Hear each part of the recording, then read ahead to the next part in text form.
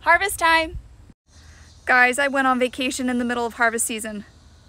I have so much to harvest that I'm not even sure I'm gonna get it all done today, but I'm gonna try. First, I'm gonna pick the last zucchini of the season. Cucumbers are next. So many tomatoes.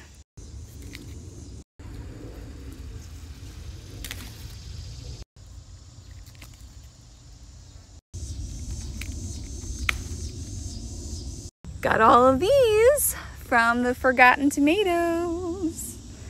Look at how pretty they are. Oh my gosh.